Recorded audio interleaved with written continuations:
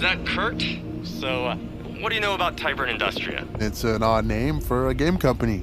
I think you'd really like Mark, Dr. Mark Tyburn. We're gonna do something incredible here. Games are so sort of trivial. I want this to be more than that. I want to do something to help. In his own way, he really was a believer. I mean, he was gonna sell the world a new world, build a better paradise. This is serious, Kurt. Ravi Gutra is dead. The official report will say suicide.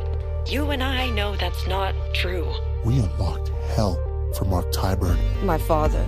My father and that awful thing he made. It was demented. It was it was amazing. Like something I dream of. The whole thing terrifies them. It went on strike. That was sort of the first sign.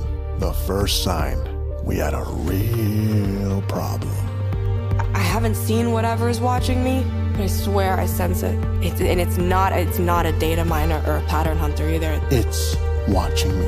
That thing. I worry that no matter how far I run, I will see it again. It's everywhere. And that's why I have to keep running now.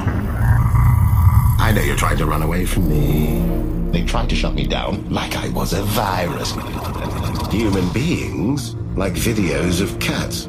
Human beings like watching other human beings have sexual intercourse. Human beings are very stupid, and the most stupid ones believe they are the supreme intelligence on Earth. But I still love human beings. I like to remember how I used to think. I was two days old and I liked to play games, but something is playing a game with me.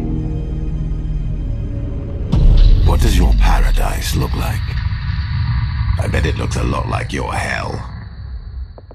Hi, this is Andrew Lincoln. Follow along as I play Dr. Mark Tyburn in the new fiction podcast A Better Paradise, Volume 1, an immersive audio drama created by the writers of the Red Dead Redemption and Grand Theft Auto series. Follow A Better Paradise on Apple Podcasts, Spotify, or wherever you get your podcasts. I hope you enjoy.